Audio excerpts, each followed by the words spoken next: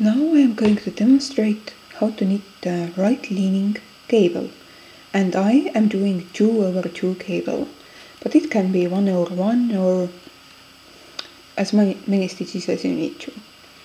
So to get the right leaning cable you need to take the stitches which need to be passed over by the cable which is coming over and leave them back of a work. So you, from my case, you take two stitches to the cable needle and leave them in the back of the work.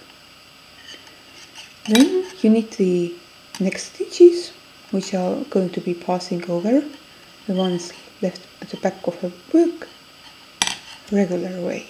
So one, two, and then you will need to knit these two stitches. You can just knit them from here or you can pass them back to the left hand needle so you need lose the cable needle, needle from the equation and you have only two needles working on your fabric which makes it a bit easier. And you knit the stitches which were on the cable needle just a moment ago and you get a nice right leaning cable. So I have two purl stitches here just between the cables and I can show you again.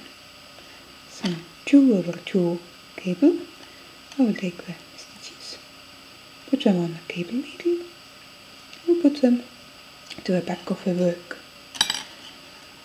Now I will knit the next stitches, take the two stitches from the cable needle back to a work. Take the cable needle out and knit the two stitches.